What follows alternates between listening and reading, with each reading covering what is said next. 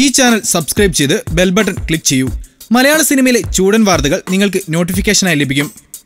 അശ്ലീല വീഡിയോകൾ പ്രദർശിപ്പിച്ച നടിയുടെ കാമുകന് നടുറോട്ടിൽ മർദ്ദനം. വീഡിയോ നോക്കൂ.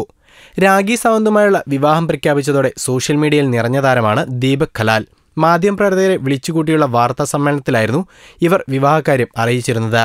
വിദേശത്ത് വെച്ച് നഗ്നരായി വിവാഹം ചെയ്യുമെന്നായിരുന്നു ഇവരുടെ തീരുമാനം. രാഖി സാവന്തിന്റെ കാമുകന്റെതായി പുറത്തിറങ്ങിയ പുതിയൊരു വീഡിയോ സമൂഹ മാധ്യമങ്ങളിൽ ഒന്നടങ്കം വൈറലാകുന്നു. അശ്ലീല വീഡിയോയിൽ പോസ്റ്റ് ചെയ്തതിന് നടുറോട്ടിൽ വെച്ച് ദീപകിനെ ഒരാൾ മർദ്ദിക്കുന്നതാണ് വീഡിയോയിൽ കാണിച്ചിരിക്കുന്നത്. അടുത്തിടെ സ്ത്രീകളെ മോശക്കാരാക്കി കാണിക്കുന്ന തരത്തിലുള്ള വീഡിയോകൾ ദീപക് കലാൽ യൂട്യൂബിൽ അപ്ലോഡ് ചെയ്തിരുന്നു. തമാശ രൂപത്തിലാണ് ഇത് ചെയ്തതെങ്കിലും ഇത്തരം വീഡിയോകൾ ഇനി പോസ്റ്റ് ചെയ്യരുതെന്ന് താക്കീത് നൽകിക്കൊണ്ടാണ് ദീപകിനെ യുവാവ് മർദ്ദിക്കുന്നത്. തുടർന്ന് തന്നെ തല്ലരുതെന്നും ഇനി അങ്ങനെ ചെയ്യില്ലെന്നും ദീപക് ഇയാളോട് പറയുന്നുണ്ട്. സോഷ്യൽ മീഡിയയിൽ ഇത്തരം കാര്യങ്ങൾ പോസ്റ്റ് ചെയ്യില്ലെന്നും തനിക്ക് മാപ്പ് നൽകണമെന്നും ദീപക് എല്ലാവരോടുമായി അഭ്യർത്ഥിക്കുന്നുമുണ്ട് ഡൽഹിയിലെ ഗുരുഗായിൽ വെച്ചായിരുന്നു ദീപകിന് യുവാവിൽ നിന്നും മർദ്ദനമേറ്റത്. കൂടുതൽ ഗോസിപ്പുകൾക്കായി ഈ ചാനൽ സബ്സ്ക്രൈബ് ചെയ്യൂ.